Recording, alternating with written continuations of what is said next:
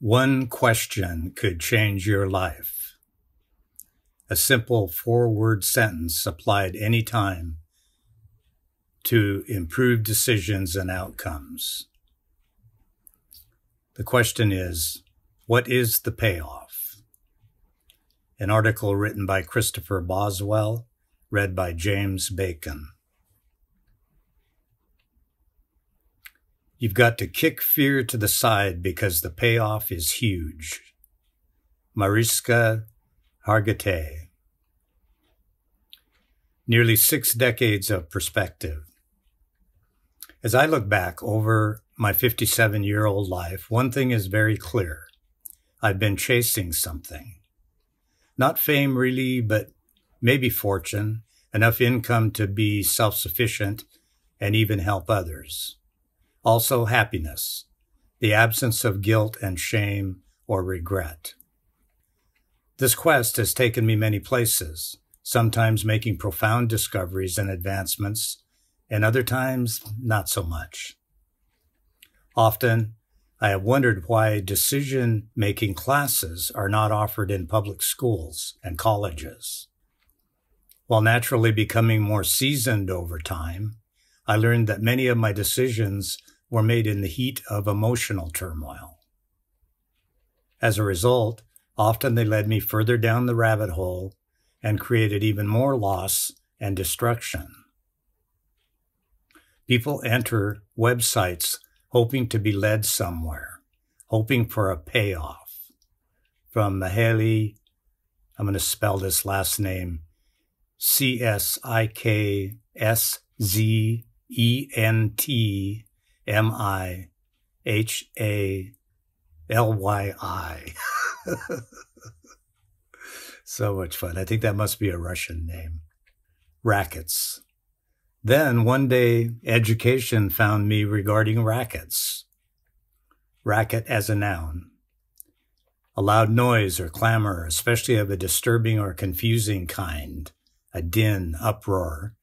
The traffic made a terrible racket in the street below or social excitement, gaiety, or dissipation, or an organized illegal activity such as bootlegging or the extortion of money from legitimate business people by threat or violence, or a dishonest scheme, trick, business activity, etc., the latest weight reducing racket.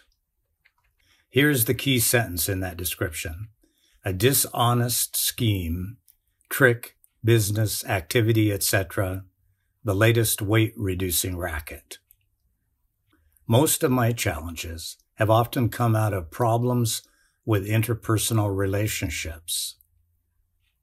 Being applied to people and to behavior, that may be a little off the mark in describing it. However, most humans and animals take action or activity because it results in some sort of payoff. Therefore, the question spoken of in the opening is, what is the payoff? What is the real purpose behind the Tooth Fairy, the Easter Bunny, and Santa Claus? They seem like greater steps toward faith and imagination, each with a payoff, like cognitive training exercises. Chuck Palahniuk. How does knowing this lead to better decisions?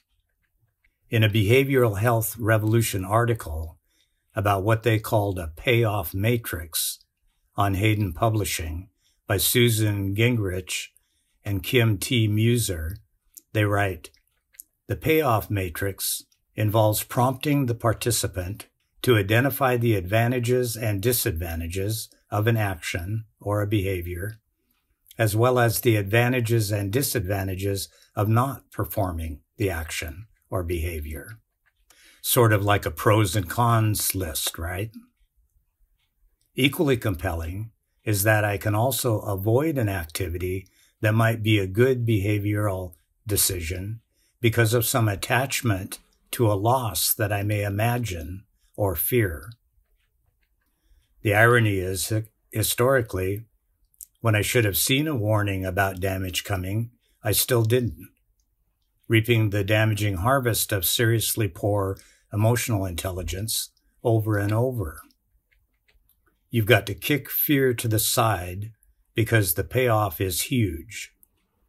Mariska Hargitay. Yes, if I stay present. While trying to apply this wisdom to my daily life, I found another question often helps uncover the sometimes hidden payoff or lack of one at all.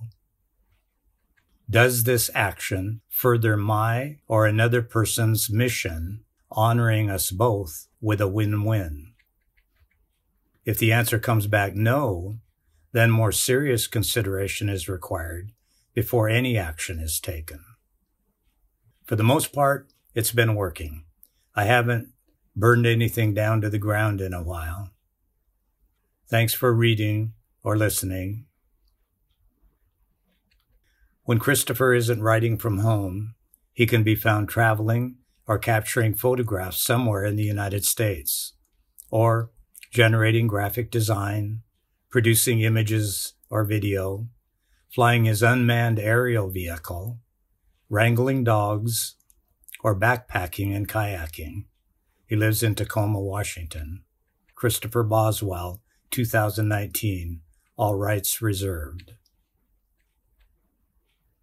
Written by Christopher Boswell, business manager, owner, creator, photographer, writer, risk taker, arranging text and images for fun, creativity saved my life. www.realwindowsmedia.com